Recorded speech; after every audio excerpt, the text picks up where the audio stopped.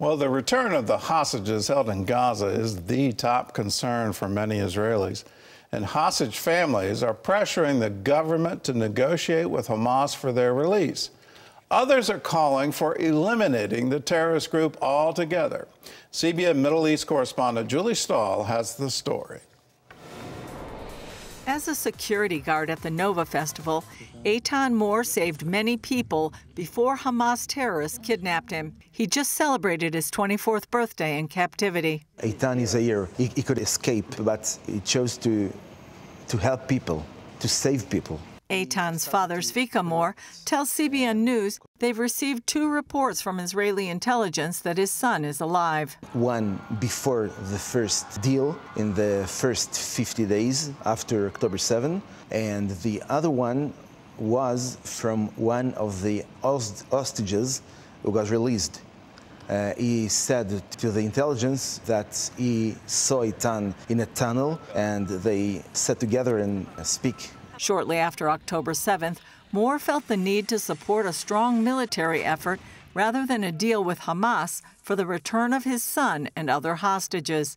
That's why he helped start the Tikva, or Hope Forum. We were here in Shalit deal, that crazy deal, and we think that God gave us this role to stop and to save the people of Israel from another crazy deal. IDF soldier Gilad Shalit, kidnapped by terrorists in 2006, gained his freedom five years later in exchange for the release of more than a thousand, mostly Palestinian and some Israeli Arab prisoners. Included in that group, Yehia Sinwar, the Hamas leader in Gaza and mastermind of the October 7th assault only one terrorist enough to make October 7, as we saw. So that's the reason that we established Tikva Forum, because we have different values and messages from the other uh, families. Ironically, months before the assault, Eitan and his father talked during a Shabbat meal about the deal leading to Gilad Shalit's release.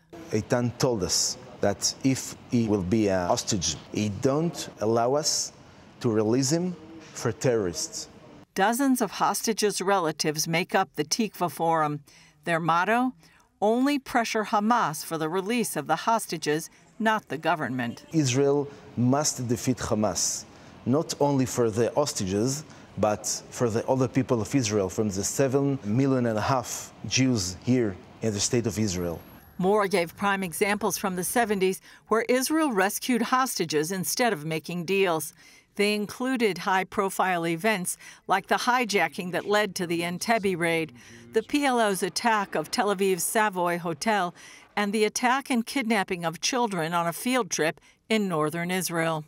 Even so, he doesn't believe all the hostages can be rescued in an operation like we saw in early June. But Israel can press Hamas. Look, today we were giving Hamas a crazy humanitarian aid. It's not only bread and water, it's cigarettes and candies and pastries and everything. We can see all the, the markets in, in Gaza. So we have to make a crisis in Gaza. If we want to get our loved ones, I want them to, to beg us for, for a half, half cup of water and after they will give us our hostages, we have to continue to crush the Hamas.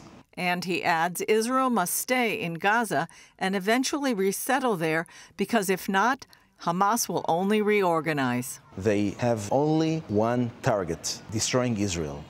God gives us this country and this coastline is our, like Tel Aviv is our land. So we don't have to be shame. This is our only state on the globe. Mor says it's all about the future of Israel, and that's what the Tikva Forum is.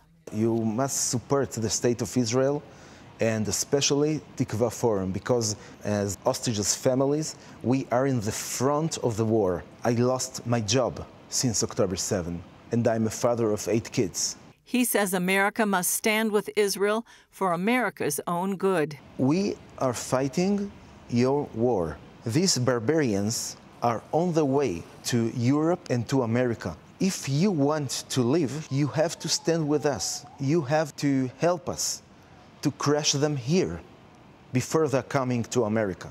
Julie Stahl, CBN News, Kfar Etzion, Judea and Samaria.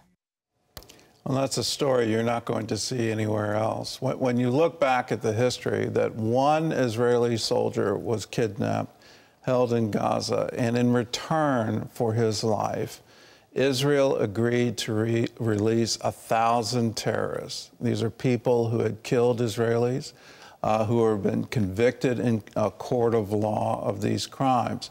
One of them was Sinwar, and what he had done is he had killed four fellow Arab Muslims. And the reason he killed them is they had done some kind of deal with Israelis. And he thought that that was cooperation with the enemy. And because of that, you had to be executed. So he murdered them. He spent 20 years in Israeli prison. And what did he do at that time? He learned Hebrew so that he could get better at killing Israelis, that he could understand their communications, their intelligence. That's what he did with his time.